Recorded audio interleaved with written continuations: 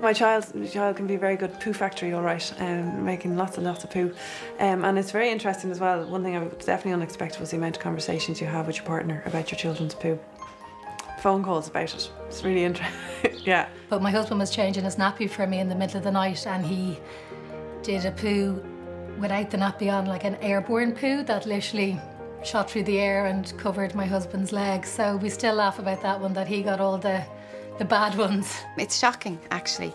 And as well as that, if there is no poo, I'm obsessing about why there isn't poo.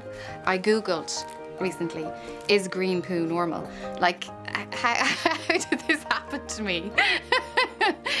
but I'm obsessed with it, yeah. I've never been so concerned about someone, were they pooing, were they not pooing enough? Then there's the black tar stuff, you're like, what is this? And, and I can't even wipe it off. You, you need like a chisel or even things like you, your hands, you know, trying to remember to clean your hands afterwards. And then there's this really bad smell of poo and realizing that there was poo on your nose. I just, yeah. Middle of the night, I think, is the worst, getting up. Um, or the morning after, if you've been out for a few pints the night before. It's not good changing nappies first thing in the morning. You want strong stomach. And the colour, colour's not good.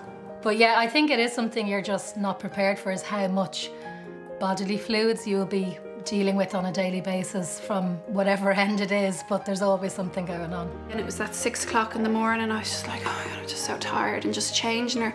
And all of a sudden I just took the nappy off and like literally, it sounds a bit crude now, but an explosion out of her bottom that literally didn't hit, it didn't hit the changing mat at all. It went from her bottom to a wall there and it was literally poo. And it was just the most awakening thing. I was wide awake then. I was just like, I, I didn't even know what to do. I was like, no one told me that happens. And that was one of the things I used to worry about. I used to think I'll never be able to deal with that, with the really dirty nappies. Um, and actually, for the first while after my husband went back to work, every time I changed one, I would text him in work and I would say, I've just changed a really dirty nappy. And I would expect him to come back to me saying, Oh, poor you, but like, good job, you're doing really well. It's crazy, like, it's just, uh, it got to the stage kind of, there's so many nappies being going. You're going to Dunnes and you're buying them in bulk. You're buying boxes and boxes of nappies. Changing nappies can be quite a monotonous job. And when you've more than one in nappies, you really are counting down the days when you're out of the nappy zone.